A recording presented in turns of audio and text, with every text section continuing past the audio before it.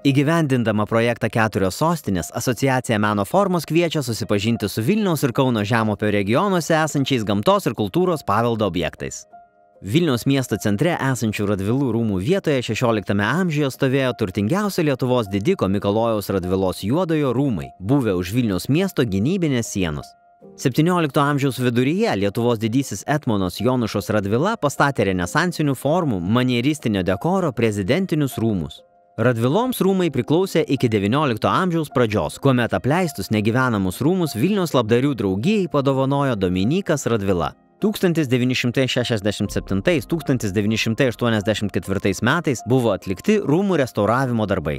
Dabar čia yra įsikūręs Lietuvos dailės muziejaus padalinys.